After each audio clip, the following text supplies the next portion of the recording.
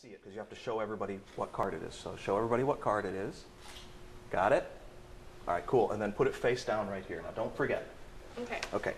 So somewhere lost in the deck is the ghost. Okay. I'm going to try to find it. That's the first thing. So I'm, I'm kind of like a ghost hunter. I can actually sense, just, uh, just my fingertips are so sensitive that I can kind of sense when I'm near where the ghost is. Hold your hand out like that and just kind of hold those cards for me because I think that I've gotten it in one of the top five cards. I'm pretty sure one of these top five cards. Um, don't, don't tell me which one it is, but do you see it there? Maybe. Maybe. Okay, that's fine.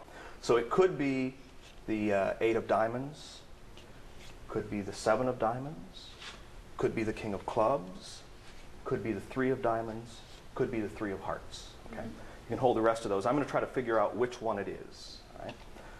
Okay, let's see. One of these cards. Hmm. Um,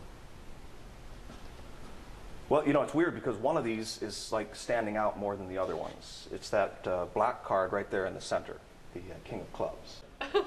Here, check it out. Watch. It looks like it's there. How many cards do you see? Uh, five. Watch. Now how many? Four. Let's take a look at these cards. There's the eight of diamonds, the seven of diamonds, the three of hearts, and the three of diamonds. Where'd it go? In your own hands, spread the cards out face down.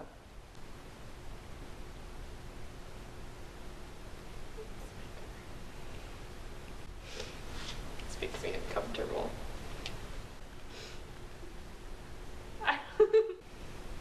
that was really good.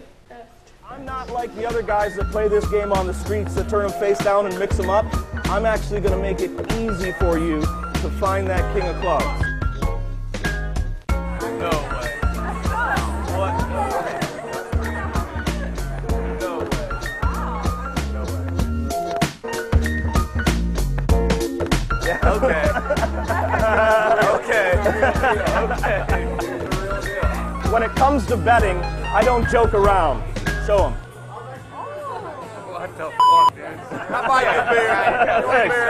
Yeah, I'll take one. High five again, sir. yeah, yes. That's impressive. Thanks. Nice work. Thanks very much. Appreciate it. Wow.